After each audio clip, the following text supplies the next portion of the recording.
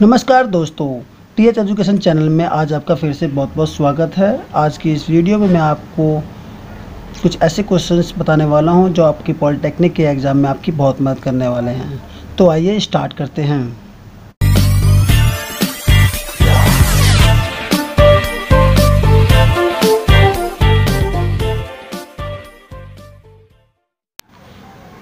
तो आज की इस वीडियो में मैं आपको सिखाने वाला हूँ कुछ इंपॉर्टेंट क्वेश्चंस चैप्टर हमारा कोऑर्डिनेट ज्योमेट्री यानी कि निर्देशांक ज्यामिति। इसमें कुछ इंपॉर्टेंट क्वेश्चंस मैं आपको आज बताऊँगा, जो कि आपकी पॉलिटेक्निक एग्ज़ाम में बहुत मदद करेंगे। इसी प्रकार के क्वेश्चंस पॉलिटेक्निक एग्ज़ाम्स में आते हैं। तो हमने लिए हैं दो पॉइंट पी और क्यू ये दो पॉइंट हैं हमारे पास पी और क्यू हमें फाइंड करना है इनके बीच का डिस्टेंस कि इसके बीच की दूरी क्या है। ठीक है? तो दूरी निकालने का एक फॉर्मूला होता है फॉर्मूला देखिए। X square sorry x two minus x one square plus y two minus y one का स्क्वायर ये जो फॉर्मूला है हमारा, ये है डिस्टेंस निकालने का फॉर्मूला अब बात आती है कि एक्स वन और एक्स टू ये सब है क्या? तो पहले इसको हम लेते हैं एक्स वन इसको लेते हैं हम वाई वन ये है हमारा एक्स टू ये हमारा वाई टू तो एक्स टू मैंने माइनस फाइव माना हुआ है. तो एक्स टू किस आएगा माइनस नहीं एक्स टू मैंने माइनस वन माना हुआ है. तो एक्स टू की जगह पर आएगा माइनस वन ये माइनस और एक्स वन हमारा माइनस सिक्स तो ब्रैकेट में माइनस सिक्स इसका स्क्वायर कर देंगे प्लस वाई टू हमारा माइनस फाइव फिर ये माइनस वाई है सेवन इसका स्क्वायर इस प्रकार से हम करेंगे। तो माइनस वन और माइनस माइनस प्लस हो जाएगा सिक्स इसका स्क्वायर और ये जाएगा minus five minus seven minus twelve square ये माइनस वन है और प्लस सिक्स है तो फाइव आ जाएगा। इसका स्क्वायर होगा। ये हो जाएगा, इसका स्क्वायर करने पर आएगा वन फोर्टी फोर फाइव का स्क्वायर करेंगे twenty five one forty four दोनों को ऐड करने पर आएगा वन सिक्सटी नाइन और रूट सॉल्व करेंगे तो थर्टीन यानी कि पी और क्यू के बीच में जो डिस्टेंस है, वह है थर्टीन इस तरीके से आपको समझ आ गया होगा। बिंदुओं ये कॉस थीटा साइन थीटा और sine theta minus cos theta के बीच की दूरी ज्ञात करनी है। जैसे कि एक पॉइंट ये दिया हुआ है और एक पॉइंट ये, इन दोनों के बीच में डिस्टेंस कैसे निकालेंगे? और ये है मैं ये पॉइंट दे रखा है कॉस थीटा और साइन थीटा और ये पॉइंट दिया है, मान लीजिए sine theta minus cos theta तो इन दो पॉइंट के बीच में दूरी निकालेंगे। तो सबसे पहले हम जानेंगे इसका फॉर्मूला हमारे पास फार्मूला होता है। डिस्टेंस निकालने का फार्मूला है हमारे पास।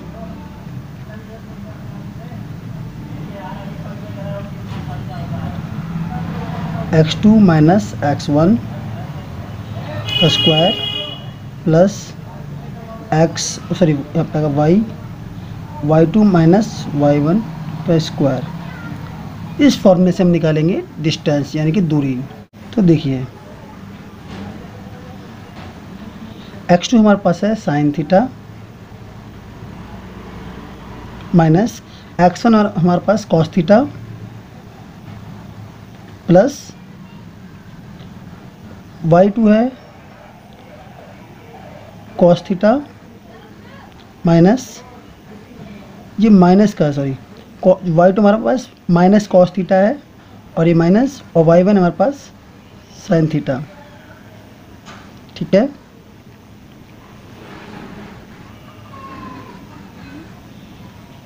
जो होगा? ये बन गया एक हमारा फार्मूला ए माइनस बी का होल क्यूब का फार्मूला बन चुका है। तो इसे सॉल्व करेंगे तो आएगा sine square theta plus cos square theta फिर minus two sine theta cos theta ठीक है? फिर ये प्लस हो जाएगा। इसका फार्मूला बनेगा हमारे पास। ये हो जाएगा cos square theta plus sine square theta और plus two cos cos theta और साइन थीटा ठीक है? ये और ये सेम है। इससे आगे पीछे भी किया जा सकता है तो ये और ये से कट जाएगा। ठीक है? और आपको पता है sine square plus cos square one होता है और ये भी वही होता है cos square plus sine square one होता है। तो हम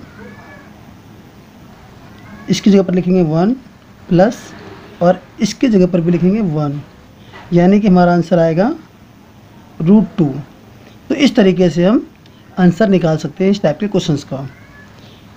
अब हम नेक्स्ट क्वेश्चन देखते हैं।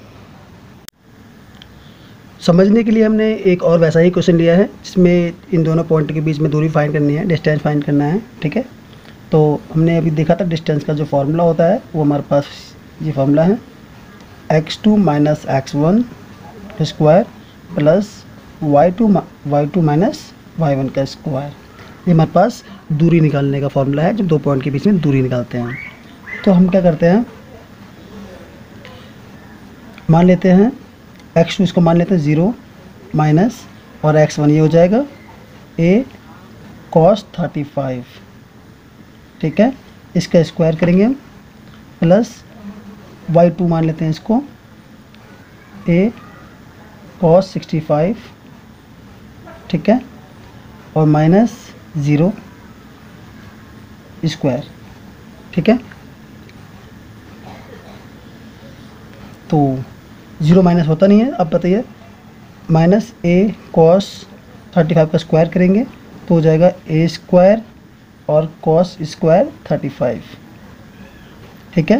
प्लस उसी प्रकार से इधर भी हो जाएगा। A square cos square sixty five ठीक है? ए स्क्वायर ए स्क्वायर दोनों में कॉमन आ रहा है। ए स्क्वायर को हम बाहर ले लेते हैं। ये हो जाएगा cos square thirty five plus cos square sixty five ठीक है? अब आगे देखिए।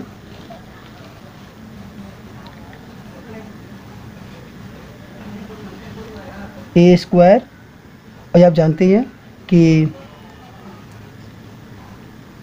जो कॉस स्क्वायर थर्टी फाइव की जगह पर हम लिख सकते हैं, जैसे कि मान लो cos square ninety minus sixty five लिख सकते हैं। और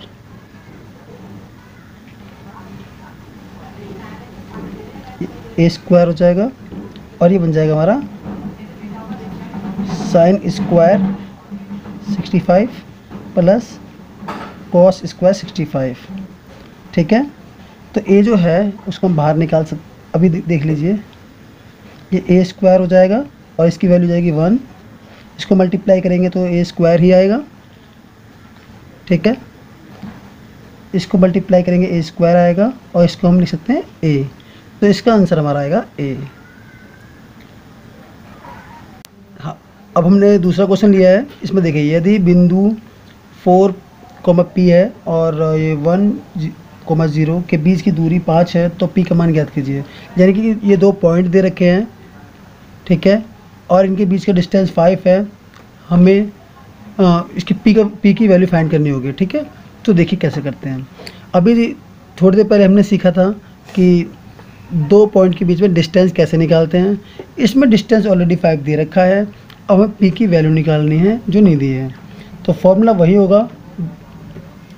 फॉर्मूला था हमारा x two minus x one इसका स्क्वायर और प्लस में y two minus y one इसका स्क्वायर ठीक है, ये हमारा फॉर्मूला था। इसी तरीके से हम करेंगे। एक्स टू से इसे वन मानते हैं हम। वन माइनस फोर हो गया ये एक्स वन स्क्वायर हो जाएगा। ये वाई टू हो जाएगा ज़ीरो माइनस और ये होगा पी इसका स्क्वायर ठीक है? और इसमें डिस्टेंस फाइव दिया हुआ तो हम यहाँ पर फाइव लिखेंगे। ठीक है? जैसे हम इसे रूट को हटाएँगे तो यहाँ पर स्क्वायर हो जाएगा। ठीक है? और ये माइनस करने पर आएगा माइनस थ्री का स्क्वायर और ये हो जाएगा माइनस पी का स्क्वायर यहाँ पर ट्वेंटी फाइव हो जाएगा.